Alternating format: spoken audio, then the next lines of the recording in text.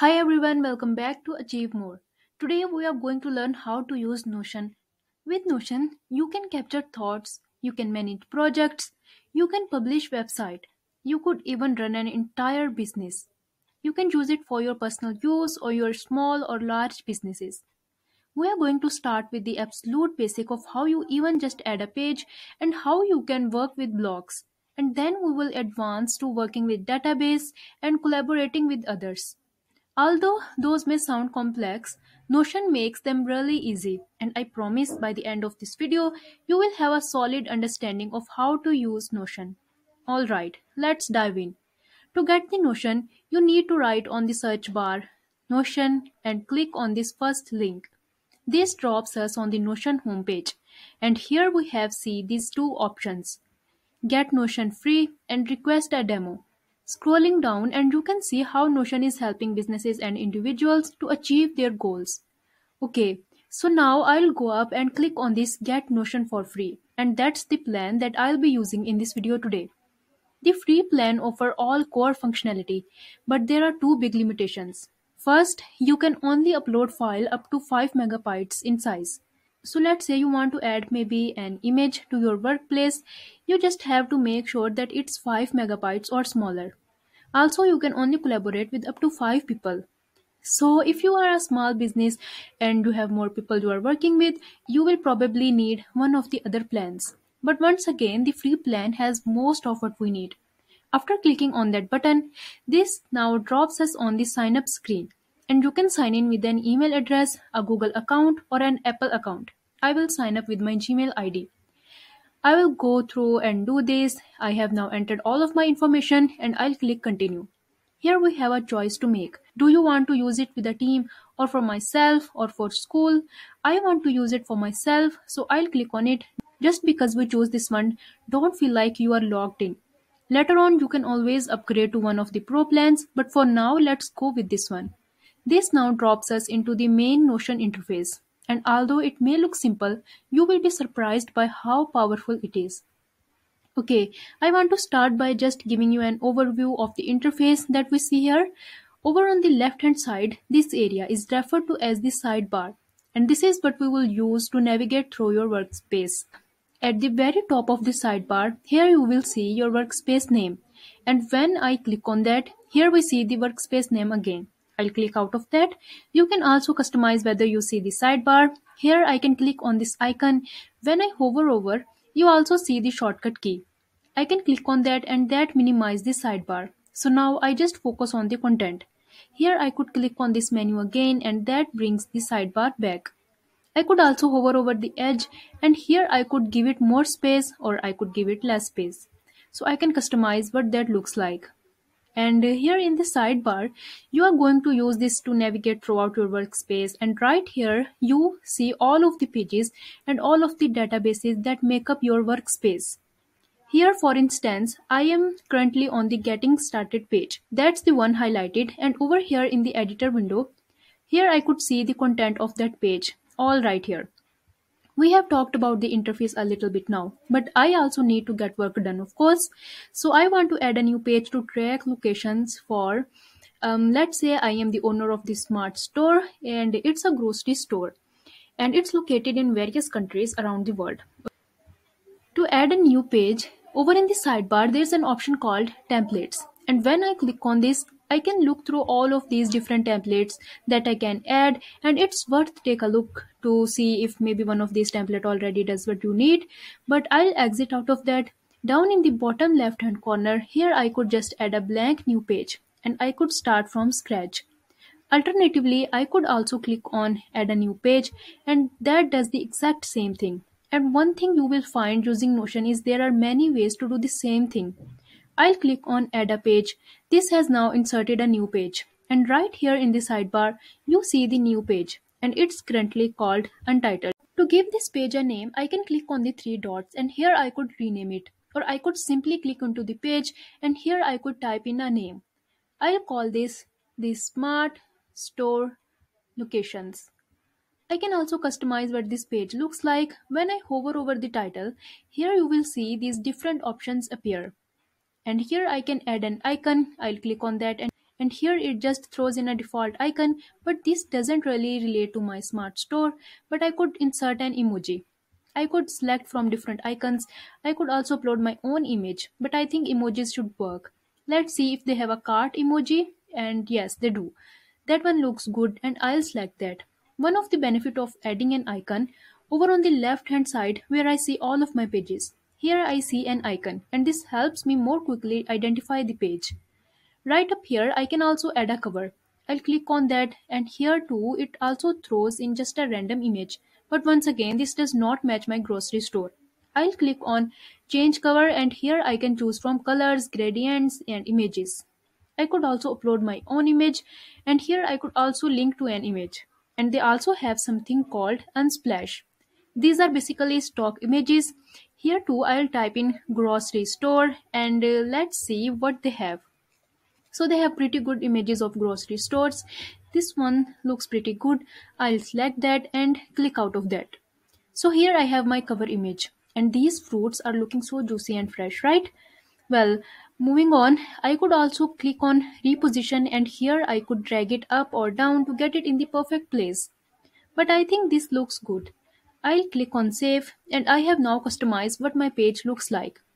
Down below, I see all these different links that I can use to help me get started with this page. So here you could insert a template or you could start with a database table and later on we will get into what these are. But for now, I just want to start with a very simple page. So I'll simply click here and I'll start typing in. We are going to use this page to track our retail locations for the smart store. Now that I have entered some text, just like in any other word processing application, here I could highlight some of the text and when highlighting it, I get this contextual menu. So here I can make it bold or here I can click on this drop down and maybe I apply some brown color to this text so I can format what this text looks like. Also over on the right hand side I have this three dot menu that exposes even more options. But for now I think this looks good. When I hover over this line of the text that I added, over on the left hand side, you will see there's a plus icon and there are also six dots. This line of text that I inserted, this is referred to as a block and this page will be made up of many different blocks. Over on the left hand side, I'll click on the plus icon and this shows all of the different type of blocks that you can insert onto your page. The first initial line of text that I inserted is just a simple text block. And here we see some of the basic blocks. So I could insert a to-do list, a heading, a table, a bulleted list, an image, and the list goes on and on. As I go down, you can see all of the different rich type of blocks that you can insert onto a page. You could even insert media, videos, audio. You can even embed different type of content. So you have lot of different option when it come to blocks. Now I want to just keep it simple. So I will select heading 1 and here that insert a heading 1 and I'll type in current locations. Here I want to insert an image of all the current locations. So just like I did to insert this block, I'll go over to the left hand side, click on the plus icon and I can scroll down and find image. But alternatively, and this is a little bit quicker, I can simply type in image and that filter this list of all of the different block options and here I'll select image and uh, I could upload an image, I could enter in a link or I could select that stock image again. But this time I will click on upload. Here's my image. I will select this and then click on open. This has now uploaded all of our current locations to this page. As I hover over all of these different items on the page, you will see that I have the same plus icon with the six dots. So every item here is a block. Once again, you compose a page with many different blocks. Now up to this point, to add a block, we have been clicking on this plus icon. But an even easier way, here I'll go down and I can also type in the forward slash character. Here I will type in a forward slash and that also expose the menu. It's a little bit quicker to do that and here I can simply type in heading 1 and then hit enter and that insert the heading 1. So you can make it really quick to add new blocks so for this heading, I will type in proposed locations and that looks good. Under the proposed locations, I want to add a bullet list of all of the location that we are planning and opening.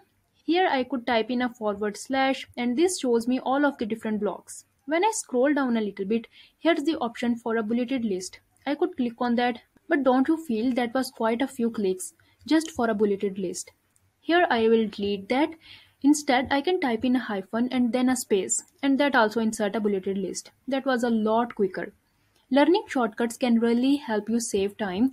Here when I move around the page in the bottom right hand corner, you will see the question mark icon. When you click on this, you can click on keyboard shortcuts. This page shows you all of the different keyboard shortcuts available within Notion. Here at the top, you will see some of the most popular ones that will save you a lot of time. And as you scroll down, you will see that there are many different shortcuts. So it's well worth some time learning some of these keyboard shortcuts. Okay, so now I have inserted a list of all of the different cities where we are planning an opening location, but on second thought, here I can highlight all of these different blocks and then I can click on the six dot icon and when I click on that, there's the option to turn into. When I hover over that, I can change this block type into any of these other block types and I want it to be a to-do list. I will select this option and that swaps it out for that other block type. To add all of these different blocks, we have been clicking on the plus icon. We have been using the forward slash, but you can also just drag and drop media from your computer directly onto the page. Now with this page down at the bottom, we have all of these different proposed retail locations and this is highly sensitive information. We certainly wouldn't want our competitors to get their hands on this, so I should probably include some information for our employees not to share this. Here I'll take an image from my computer and I'll drag it down here, just letting everyone know that this is a top secret. I think this image will be very effective, but it might make more sense to show at the very top of the page and it's good that it's pretty easy to move blocks around. Here I can select this block and here I see the six dot icon.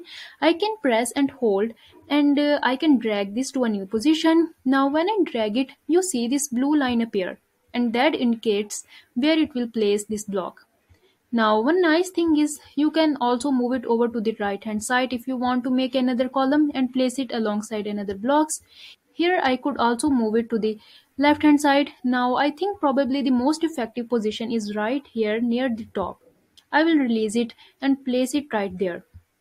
That way people see the warning and then here you see all the sensitive information. To move this block, we use the six dots and then we dragged it around. But you can also select a block and then you can use shortcut keys. I love those shortcut keys because once again, they help you save so much time. You can press Ctrl Shift down arrow to move it down a block or Ctrl Shift up arrow to move it up a block. It just makes it quicker to move things around your page. This page is coming along nicely, but uh, I think it's almost too much information on just one page. I have proposed locations and current locations, so I would rather split up some of this content. Over on the left hand side, I can add a subpage.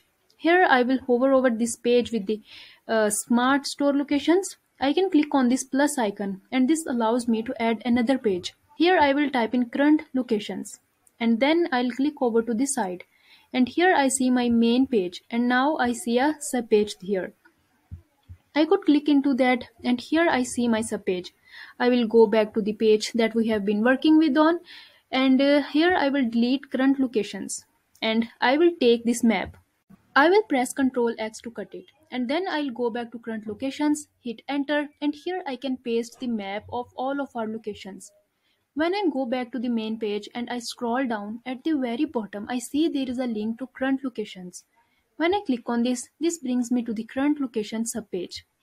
To navigate around here, I could click here, I could click here to jump between these different pages or up on top, I also have these breadcrumbs that allow me to navigate back. So here I'm in that subpage current locations, but here I could click to the top level again and that brings me back to the main page.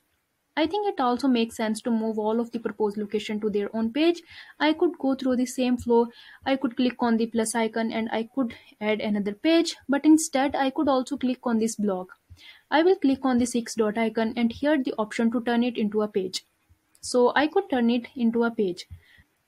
Right here, I can turn it into a page. Within the smart store locations, I will click on that and here that's automatically added a new page over on the left hand side in the sidebar with proposed locations. There I see all of them. I will click back into the main page. Now I also want to move all of these different locations. Here I'll highlight all of these different blocks and here too I will click on the six dots and uh, I have the option to move to. I will select that and I want to move it to proposed locations. I will type in proposed locations and here I see the page that I just created. I will select that and that moves over all of these blocks into proposed locations. And here I see them again. In Notion, there are many different ways to accomplish the same task. Now that I have multiple pages, over on the left hand side, I can reorder these. So I really want to see current locations ahead of proposed locations. Here I can press and hold and I could drag this on top of proposed locations. Here I could also select the entire page group. I will select this and I can move this all the way up to the top and here I can move this all the way to the top on top of getting started and here I see the locations at the very top of the list. Now especially as you start getting really large number of pages it might become hard to get back to the ones that you care about the most. With this page selected in the top right hand corner I can click on this star icon and this adds this page as a favorite.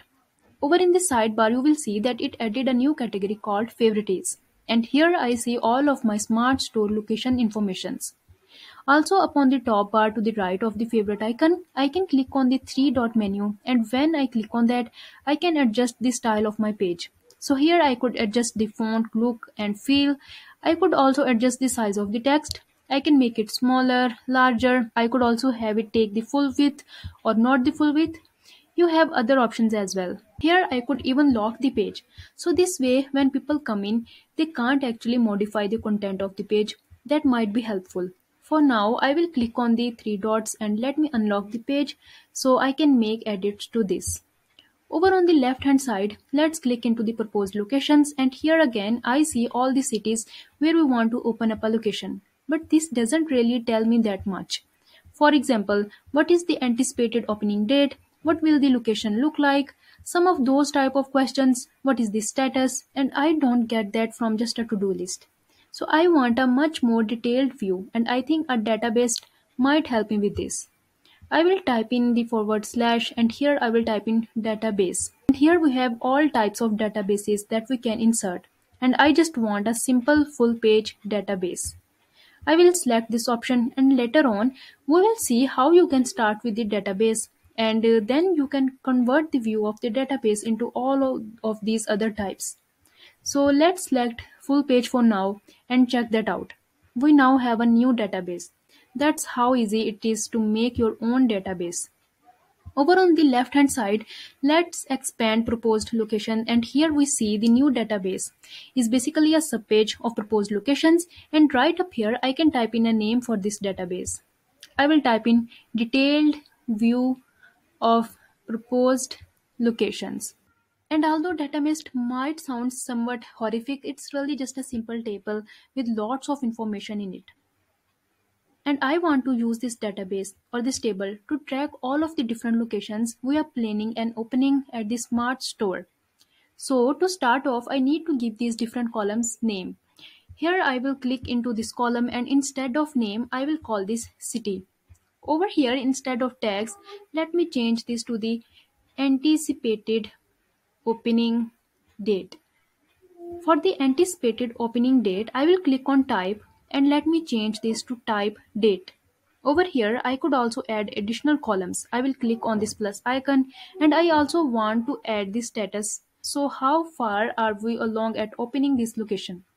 I will select status and when I select that, here I can see these different status, not started, in progress or done. That will be really helpful as we track these different projects. I will close out this side pane.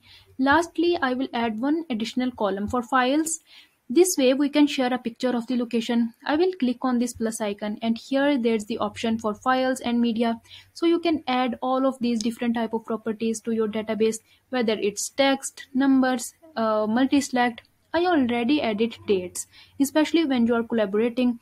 You could add other people, so well worth looking through this list to see all of the different type that you can add. Here I will select files and media and this looks good. I will close this out. My database is starting to take a shape, but I need to add some of the cities where we want to open locations. So I will go through and fill out some of the information. I have now added some details to this table and one thing you might be wondering is, well, what is the difference between just a standard table and a database?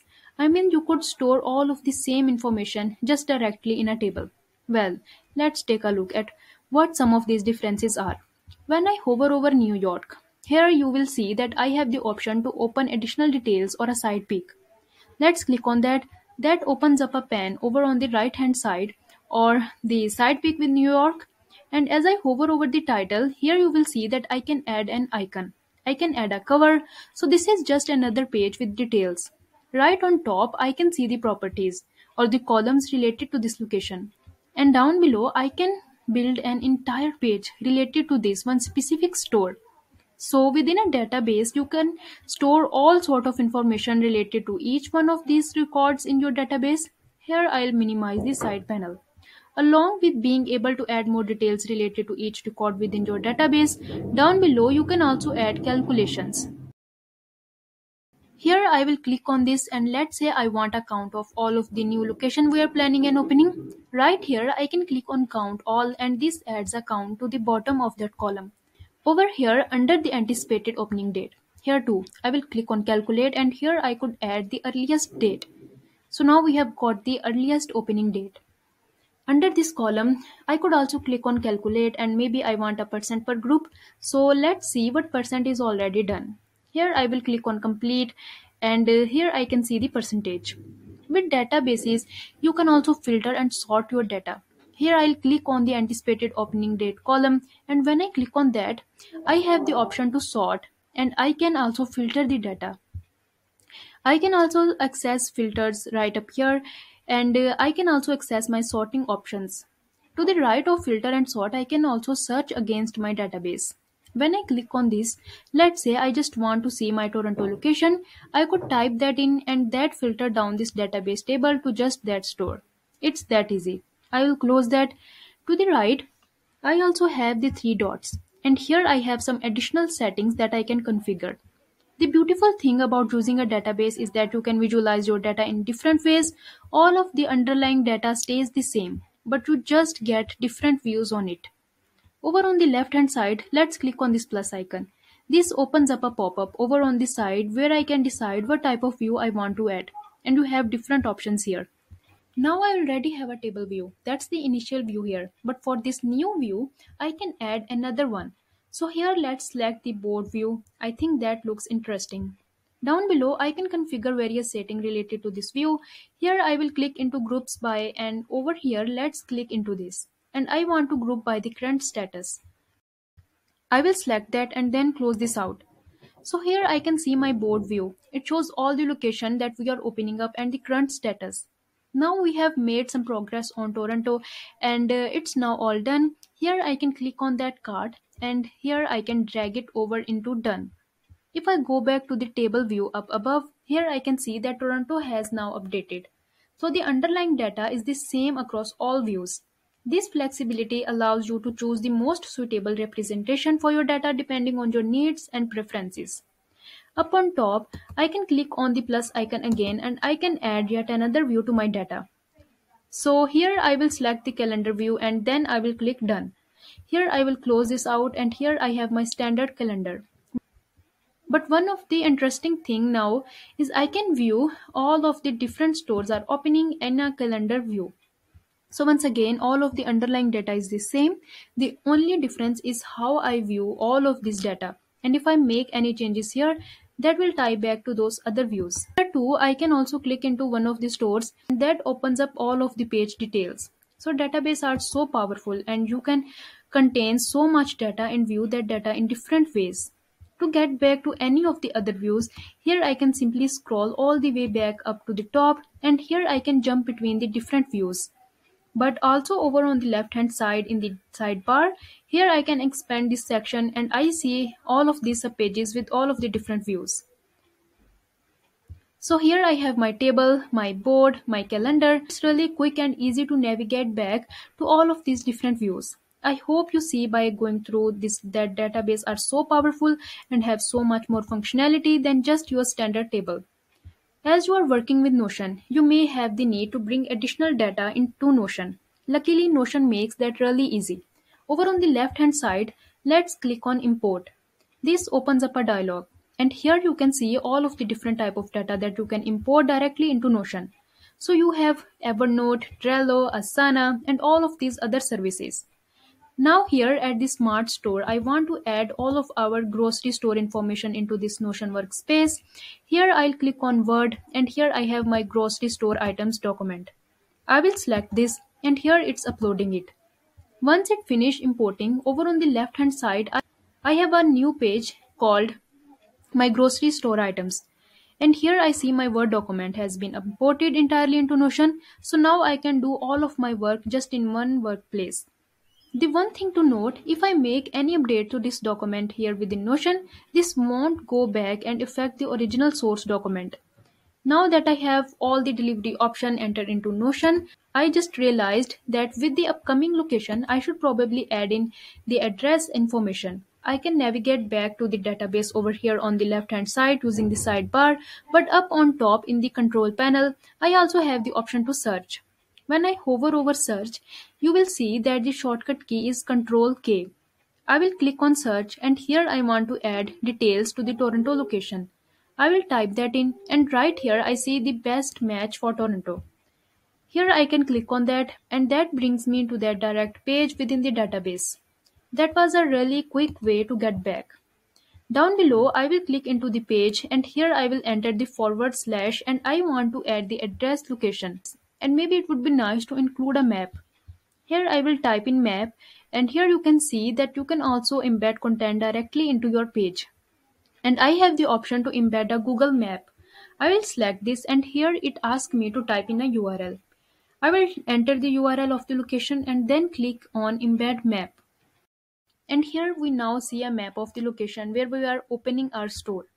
This is exactly what I wanted. Adding the map was pretty easy, but I don't want to have to do it for every single city. Maybe I could pull in one of my coworker and have them help me. So I want to share one of my page and all of the subpages. Here I will select this top level page and in the right top corner, I can click on share. When I share this, it will share this page along with all of the subpages. Here I'll click on share and right here I can type in an email address for people who I want to share it with. I don't have any email addresses here at the moment because I'm just building up my workspace, but I will definitely share this with my coworkers and that would be so easy. Now what if you want to share the current location with all of your customers so they can know where they can shop our grocery and they want to know our brand new locations. I will select this page and in the top right hand corner, I will click on share again. But instead of typing in a specific person or an email ID, right here we have the option to publish this page.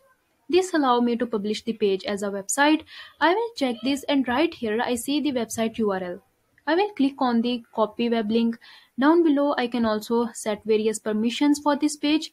Now I don't want customer to come in and edit this. I also don't want them to comment. So, so I will make sure I leave this as it is.